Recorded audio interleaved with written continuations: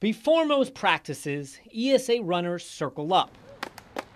One by one, they each say something they're thankful for. I said the weather because it's been gloomy and kind of rainy and a little bit cold for a while now. The gratitude circle is a staple in what coach Laura McGann teaches.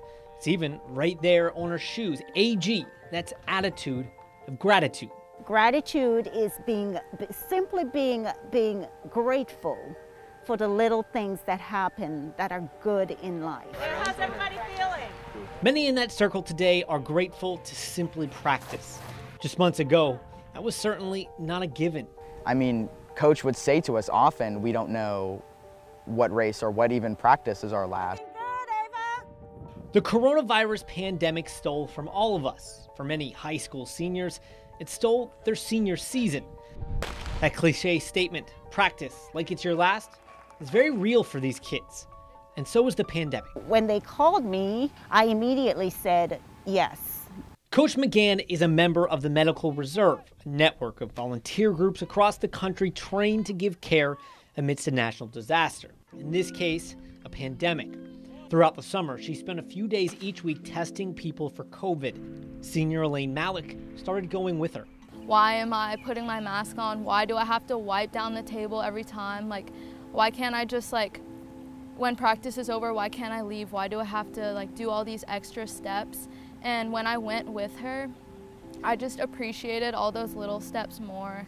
While Coach McGann remembers the fear and desperation many had at that test site, Elaine takes away the brighter moments. One of the nurse told whoever she was on the phone with, like, oh, like you're negative, like you're good. And it was just like an exciting moment. We were all like cheering about it.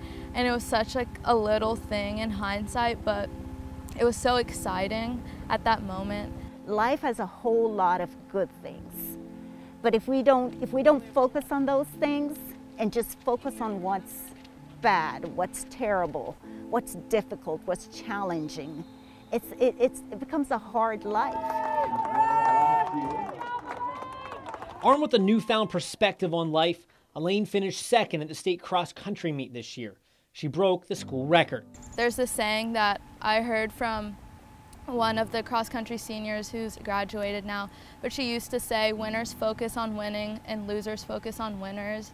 And I really took that to heart this year. The ESA girls won their fifth cross country title in six years this fall. Nice job, Aiden. Keep it going. Now in track season, the girls team is seeking its third straight district title. A year after spring athletes lost their chance to compete, just competing means more than ever. Focus on the good things. A beautiful campus to come to, a beautiful weather, a nice sunny day, a walk with a friend. It's the little things in life. If you focus on those things on a daily basis, life is so much easier um, you, you just have this peace from embracing all those things that are good in your life rather than the hard.